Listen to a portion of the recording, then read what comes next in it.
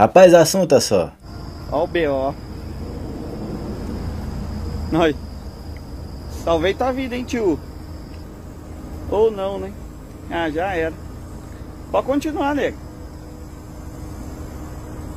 Você já matou ele mesmo? É, se deixar ele ali se não mexer, né? Ela volta depois e come ele, né? E engole ele, né?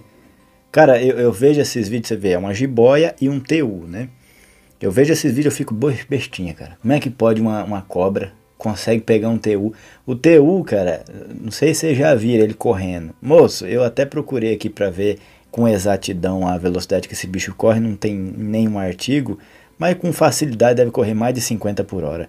Esse bicho passa perto da gente assim, mas numa velocidade que levanta poeira, moço. E a cobra dá conta de pegar. Por isso que os mais antigos falam que principalmente a jiboia encanta, né?